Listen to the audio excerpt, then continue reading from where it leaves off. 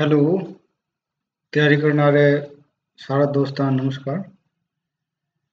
अपने बजट को ऊपर चर्चा चालू वो बजट पर तीन क्लास हो चुकी है, अपनी आज या चौथी क्लास है। डेली आप देखा कुछ बिंदु जो एग्ज़ाम के पॉइंट ऑफ़ व्यू इम्पोर्टेंट है। तो थाने सारा ने ये क्लास प्रॉपर लगानी है। पूरी की पूरी सीरीज़ आओगी। छोटी छोटी वीडियो में खातर बनाऊँ ताकि थारे समझ में आ जाए। और थाने बोरियत महसूस ना हो, क्योंकि बजट इकोनॉमिक सर्वे ये तरह चीजा है कि जिन आप पढ़ा जो अपना नहीं है लगे कि यार आप बोर होना ठीक है? तो दस दस बारह बारह मिनट की वीडियो है घनी बड़ी वीडियो को नहीं हुआ तो यह पूरी सीरीज़ आओगी। छोटी छोटी वीडियो लेके बिया करा तो आप क्लास बनावा। अगर लगातार क्लास लेवा तो लगभग डेढ़ दो घंटा ही क्लास हो गया तो वह देख लियो पाँच दस दस एक वीडियो आओगी छोटी छोटी करके। तो काल तई आप पढ़ चुके अब हूँ आगा बात करांगा। और सारी कंबाइन करके एक वीडियो बड्डी भी डाल दूँ क्योंकि कई बच्चा ऐसा भी हुआ पे सोचा कि यार छोटी छोटी वीडियो न तो एक बड़ी वीडियो हुए तो बात ठीक है। तो वह वीडियो भी बहुत जल्दी आएगी जब आप सारो बजट एक बार पढ़ लिया तो लास्ट टाइम मैं दोबारा समरी करवाऊँगा। बे टाइम आप एक पूरी लंबी वीडियो ले ठीक है? तो अगलो है, श्रमिकों एवं स्ट्रीट वेंडर के लिए मुख्यमंत्री विश्वकर्मा पेंशन योजना। मुख्यमंत्री विश्वकर्मा पेंशन योजना। एग्ज़ाम में क्वेश्चन देखने को मिलेगा। किसके लिए है? जो श्रमिक वर्ग है, उनके लिए और जो स्ट्रीट वेंडर होते हैं, यानी कि गली में, नुक्कड़ में, सड़कों के किनारे जो रेहड़ी लगाते हैं, वो वो लोग। उनके लिए मुख्यमंत्री विश्वकर्मा पेंशन योजना आई है। मासिक प्रीमियम देने पर 60 वर्ष की आयु के बाद दो हज़ार रुपये प्रति माह पेंशन और 350 करोड़ रुपए का इसमें बजट में प्रावधान किया गया इस बार। ठीक है? तो कितना रुपया मिलेगा? दो हज़ार रुपया प्रति महीना मिलेगा। और कद मिलेगा? साठ प्लस की उम्र हो जाएगी। वे बाद में मिलना शुरू होगा। एक महीना को एक प्रीमियम भरना हुआ छोटो सो। वो अलग अलग सिस्टम हुआ है हिसाब तो साठ प्लस उम्र होया बाद में तो यह मैं क्वेश्चन कई तरीका मन के मुख्यमंत्री विश्वकर्मा पेंशन योजना के तहत पेंशन मिलना कब प्रारंभ होगी? तो उम्र दे देगा साठ साल। पैंसठ साल, पचपन साल, या फिर पचास साल। ठीक है? ये थ्री ऑप्शन दे दिया। तो एक तो याद रखियो, साठ वर्ष की आयु जब हो जाएगी, उसके बाद मिलना शुरू होगी। दूसरी पूछेगा, कितनी पेंशन मिलेगी? तो दो हज़ार रुपया। यह भी थाने याद रखना बहुत ज़्यादा ज़रूरी है। आठ दे दिया, पंद्रह सौ रुपया, दो हज़ार रुपया, ढाई हज़ार रुपया, या फिर एक हज़ार रुपया। ठीक है? तो ये दे दिया। और गेहूँ बजट को प्रावधान कितो करिए तीन सौ पचास करोड़ रुपये की बार बजट प्रावधान करिए तीन सौ पचास करोड़। ठीक है। अगली वरिष्ठ नागरिकों को रोडवेज़ बसों के किराए में 50 प्रतिशत छूट मिलेगी। वरिष्ठ नागरिक कौन होते हैं? 60 वर्ष से अधिक के आयु के जो नागरिक होंगे, उनको। पंचायती राज संस्थाओं स्थानीय नगरीय निकाय का सशक्तिकरण निर्धारित। एसएफसी ग्रांट को छह पॉइंट पचहत्तर प्रतिशत से बढ़ाकर सात प्रतिशत और तीन सौ सोलह करोड़ रुपए की वृद्धि के साथ लगभग आठ हज़ार आठ सौ चौसठ करोड़ रुपए का अनुदान इसमें दिया गया है।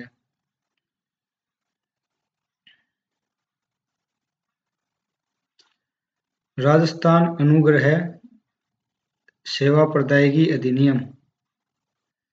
राजस्थान अनुग्रह सेवा प्रदायगी अधिनियम। असहाय और जरूरतमंद परिवारों का स्मार्ट सिस्टम के माध्यम से स्वतः चिन्हीकरण स्वीकृति एवं बेनिफिट ट्रांसफ़र ऑनलाइन प्रक्रिया। डेढ़ सौ करोड़ रुपए से आईटी आधारभूत संरचनाओं का निर्माण। तो जो भी जरूरतमंद लोग हैं, उनको ऑनलाइन तरीके से अनेक तरह के जो कार्य है, उनमें सहूलियत देना। ठीक है? ऑनलाइन प्रक्रिया के माध्यम से डेढ़ सौ करोड़ रुपये में प्रावधान करिए। कार्मिक एवं पेंशनर कल्याण, पदोन्नति के लिए डीपीसी हेतु दो वर्ष की छूट, मोबाइल ऐप पर वेतन तथा जीपीएफ विवरण, रिटायरमेंट डे पर ही पेंशन परिलाभों एवं पारिवारिक पेंशन की स्वीकृतियाँ ऑनलाइन जारी, पेंशनर को घर से ही डिजिटल लाइफ सर्टिफिकेट की सुविधा। आगे है आरजीएचएस के अंतर्गत कार्मिकों पेंशनरों की दवाइयों की डोर स्टेप डिलीवरी सुविधा अभी तक ये सिस्टम होगा जो भी आर जी एच एस है, वे मेडिकल शॉप पर जानता और बैठे जाके आपकी दवाइयाँ ले गया था। अब वही चीज़ ने डोर स्टेप यानी कि थारे घर दवाई देने खातर खुद आओगा। ठीक है था घर आगे दवाई मिलेगी थाने। समस्त मानदेय कर्मियों, नगर निकायों एवं पंचायती संस्थाओं के जनप्रतिनिधियों के मानदेय में दस प्रतिशत की वृद्धि पुलिस आधुनिकीकरण एवं आधारभूत संरचना के लिए 200 करोड़ रुपए का police modernisation and infrastructure fund. ठीक है नवश्रीजी चौंतीस पुलिस थानों में साइबर हेल्प डेस्क। तो ये इंपॉर्टेंट रहेगा। ये डायरेक्ट पूछा जाएगा, police modernisation and infrastructure fund. इसमें कितने करोड़ रुपए का प्रावधान किया गया है? तो के को आते सकर सारा? 200 करोड़ रुपया प्रावधान, ठीक है? 200 करोड़ 250 करोड़ 300 साढ़े तीन सौ, की भी आ सके 2000 करोड़, ढाई हज़ार करोड़, ठीक है? तो कितना हुआ है? 200 करोड़ रुपया प्रावधान करी गए है। और चौतीस जो नया थाना बना है, पुलिस स्टेशन है, वह में साइबर हेल्प डेस्क, यानी कि जो ऑनलाइन फ्रॉड हुआ अपने सके है, वह खतरे के हेल्प डेस्क भी बनाए गए हैं, चौंतीस पुलिस थाना। अगले प्रत्येक डिस्ट्रिक्ट में एंटी रोमियो स्क्वाड का गठन किया गया है। एंटी रोमियो, ठीक है? एक सौ चौहत्तर पुलिस थानों में वुमेन हेल्प डेस्क भी बनाया गया है। लाडली सुरक्षा योजना, सार्वजनिक स्थलों बालिका छात्रावासों एवं नारी निकेतनों में सीसीटीवी कैमरे। आप पहला भी दो एक योजना पढ़ी, सी एक तो ही लाडो प्रोत्साहन। ठीक है? जो तो के हो यह मैं तो बालिका के जन्म पर बालिका के जन्म पर एक लाख रुपए। ठीक है सेविंग बॉन्ड एक हो लखपति दीदी। लखपति दीदी। ठीक है? वे मैं ये महिला सशक्तिकरण संबंधित हो महिला सशक्तिकरण। ठीक है? ये दो योजना पड़ी तीसरी लाडली सुरक्षा योजना। लाडली सुरक्षा योजना के खतरे है कि जो भी अपना जो सार्वजनिक स्थल हो है बालिका छात्रावास हॉस्टल हो गया, या फिर जो भी जठैल मतलब लुगाइया हो काम ज़्यादा हुआ है लुगाइया हुआ है लेडीज़ हो जेंट गर्ल्स हो बटे के सीसीटीवी कैमरा लगाना। जहाँ भी गर्ल्स होती है, वहाँ पर सीसीटीवी कैमरे लगाने, ठीक है? लाडली सुरक्षा योजना। अब लाडो प्रोत्साहन योजना में भी क्या आ सकते हैं? एक ऑप्शन, कि सार्वजनिक स्थलों पर महिला सुरक्षा के लिए सीसीटीवी कैमरे लगाना लाडो प्रोत्साहन योजना है। और इसमें लाडली सुरक्षा योजना में क्या आ सकता है? बालिका के जन्म पर एक लाख रुपए का सेविंग बॉन्ड। तो हो सकता है कि ये लाडली सुरक्षा योजना हो। लेकिन आपको प्रत्येक योजनाओं को इस तरह से ध्यान रखना है कि कौन सी योजना किस उद्देश्य से लाई गई है, ठीक है? तो तीनों योजनाओं को आप याद रखना। लाडो प्रोत्साहन, लखपति दीदी और लाडली सुरक्षा। लाडली सुरक्षा है, नारी जो है, वो उसकी सुरक्षा के लिए सीसीटीवी कैमरे लगाना सार्वजनिक स्थलों पर बालिका छात्रावास। अब अगला है, सेल्फ डेफिने, सेल्फ डिफेंस की उच्चतम श्रेणी ब्लैक बेल्ट को स्पोर्ट्स कोटा में सम्मिलित करना। मिस्सा और डीआईआर आदि बंदियों के निर्बाध पेंशन के लिए राजस्थान लोकतंत्र सेनानी सम्मान निधि अधिनियम। गोविंद देव जी जयपुर में है, मानगढ़ धाम बांसवाड़ा में पुंछरी का लोटा डींग में त्रिनेत्र गणेश जी रणथम्बोर माधोपुर सहित 20 मंदिरों एवं आस्था केंद्रों के विकास पर 300 करोड़ रुपए की राशि वे की गई है। तो ये चार पाँच नाम थे, ज़रूर याद रखियो। ये इंपॉर्टेंट रहेगा क्योंकि स्पेशल यंग नाम बजट में आयो है। तो गोविंद देव जी मंदिर कटे है जयपुर में। मानगढ़ धाम कटे है बांसवाड़ा में। पुंछरी का लोटा डींग में। और त्रिनेत्र गणेश जी रणथम्बोर सवाई माधोपुर में। जो ये चार मंदिर नाम बजट में आयो है। ये बहुत ज़्यादा इम्पोर्टेंट रहेगा। ठीक है?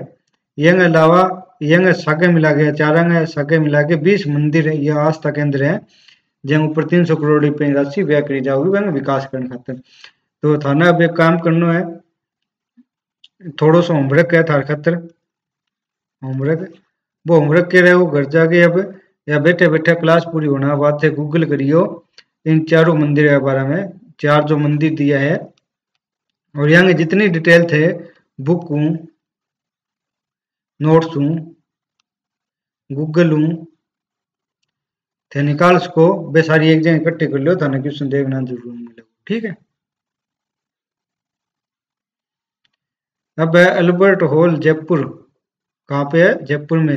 राजकीय म्यूज़ियम अलवर में चित्तौड़गढ़, बीकानेर एवं जोधपुर सहित दस प्रमुख म्यूज़ियम का उन्नयन। स्टेट आर्चिव, बीकानेर में पब्लिक गैलरी, पचास करोड़ की लागत। ठीक है? तो स्टेट आर्चिव कहाँ है? बीकानेर में पब्लिक गैलरी और दस म्यूज़ियम है अल्बर्ट हॉल जयपुर राजकीय म्यूज़ियम अलवर, चित्तौड़गढ़, बीकानेर और जोधपुर के सागे सागे दस और म्यूज़ियम है। यानी यहाँ अलावा छह म्यूज़ियम हो गए नहीं? एक, दो, तीन, चार, पाँच। यानी यहाँ अलावा पाँच म्यूज़ियम हो रहे पाँच जगह। तो बा खतरे रख रखाव करने खतरे, उन्नयन खतरे, अपग्रेडेशन खातर पचास करोड़ रुपये होंगे। चावंड, हल्दी घाटी, गोगुंदा, कुंभलगढ़, दिवेर, उदयपुर आदि को सम्मिलित करते हुए महाराणा प्रताप टूरिस्ट सर्किट सौ करोड़ रुपयों प्रावधान करे हुए आर्म्ड फोर्स म्यूज़ियम की स्थापना के लिए डीपीआर केजरली जोधपुर में Amrita Devi Bishnoi indigenous plant museum. ये क्वेश्चन देखने को मिलेगा कि इंडिजीनियस प्लांट म्यूज़ियम, देसी पौधा म्यूज़ियम कहाँ बनाया जाएगा? खेजड़ली जोधपुर में। खेजड़ली जोधपुर किस लिए जाना जाता है? अमृता बिश्नोई जी के लिए, अमृता देवी बिश्नोई। इन्होंने पेड़ों की रक्षा के लिए अपना बलिदान कर दिया था। ठीक है? अब थोड़ा सा देख लेते हैं कि कुल व्यय प्राप्तियाँ जो खर्चा घाटा वो है, वो कितना रहेगा। तो कुल जो खर्चा होगा इस बार जो बजट है चौबीस पच्चीस वाला, उसमें कितना खर्चा दिया गया है? चार लाख छियासी हज़ार छह सौ पंद्रह करोड़ दस लाख रुपए। ठीक है? आप अभी ऊपर जो जितनी सारी योजनाएँ पड़ी हुई मैं देखियो कि हमें तीन सौ करोड़ के पाँच सौ करोड़ के पचास करोड़ के सौ करोड़ तो वो सारों खर्चों में लगे। कि तो वो चार लाख छियासी हज़ार छह सौ पंद्रह करोड़, दस लाख रुपया। अब आय कठू होगी, जो राजस्व आय है, वह होगी दो लाख अट्ठावन हज़ार तीन सौ अठहत्तर करोड़ उनतीस लाख रुपया। तो इतनी राजस्व प्राप्तियाँ होगी। राजस्व व्यय कितना होगा? दो लाख बयासी हज़ार दो सौ सैतालीस करोड़ पैंसठ लाख रुपया। यानी कि अपनो जो खर्चो होगा वो तो वो इतनो, और जो आय होगी वह होगी इतनी। तो घाटो कितो लागेगो? तेईस हज़ार आठ सौ उनहत्तर करोड़ छत्तीस लाख रुपया इतना घाटो लाग जो क्योंकि खर्चा ज़्यादा, आमदनी कम तो क्या होगा? घाटा होगा। राजकोषीय घाटो कितो लागेगो? सड़सठ हज़ार दो सौ चालीस करोड़ अड़तालीस लाख रुपया। राज्य सकल घरेलू उत्पाद से राजकोषीय घाटे का अनुमान तीन पॉइंट पिचानवे प्रतिशत। और डेट टू जीएसडीपी रेशियो कितना रहेगा? सैंतीस पॉइंट अड़तालीस प्रतिशत। घबराओ ना। पिछली बार भी आप सारा टर्मिनोलॉजी जो है वह पढ़ी, अब की बार भी आप इकोनॉमिक सर्वे पढ़ा बे टाइम सारी की सारी टर्मिनोलॉजी पढ़ा टेंशन लेने की ज़रूरत को नहीं है। तो ये बजट ही कुछ मोटी मोटी बातें ही। तो यह अलावा एक्सप्लेन करके जो जितनी भी आप चीज़ें देखी है वे आने वाली क्लास में और देखा ठीक है तो बजट के ऊपर थे बना रही हो और वे बाद में कॉम्प्रिहेंसिव क्लास लेके आऊँ, पूरी बड़ी डेढ़ दो घंटे की क्लास तो बजट इकोनॉमिक सर्वे दोनों बहुत ज़्यादा इंपॉर्टेंट है। बजट इकोनॉमिक सर्वे दोनों इंपॉर्टेंट है। तो ध्यान थाने नोट्स बनाना है, याद करनी है एक एक चीज़, ठीक है? तो आप मिला नेक्स्ट क्लास में।